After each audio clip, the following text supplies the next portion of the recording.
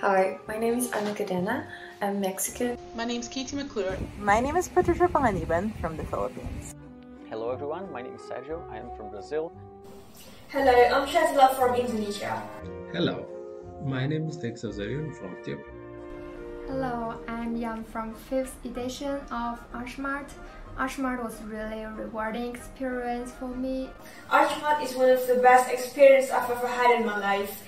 It is an Erasmus Mundus joint master degree course uh, with a two years duration. I would totally recommend Archmat, especially if you're trying to make a link between your scientific background and the world of like archaeometry. It is a course where you get to study on different institutions. Uh, there is the Universidade de Évora in Portugal, you have the Thessaloniki University in Greece, and the Sapienza University in, here in Rome. Through the program, I learned to apply my background in the sciences on the analysis of different archaeological materials. Being part of Archmat allowed me to live in three different countries and meet people from all over the world. I had colleagues from all the world and we moved together from Évora to Thessaloniki to Rome. You get to visit museums, like several museums. You get to visit different cities, historical cities, uh, UNESCO heritage sites. It's just uh, fascinating. And you have all the support, of course, from the coordination and the professors that always are always there to help you.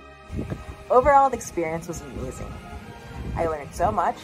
I got to travel to different places and I got to meet the most interesting people from different academic backgrounds archaeology, conservation, the natural sciences.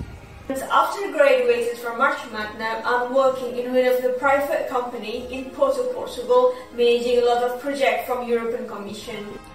After graduation, I did an internship at the Terracotta Warriors and Horses Museum in my city, Xi'an.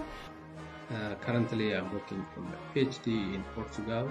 My experiences in Archmat has allowed me to help further develop archaeological sciences and cultural heritage practices in my country.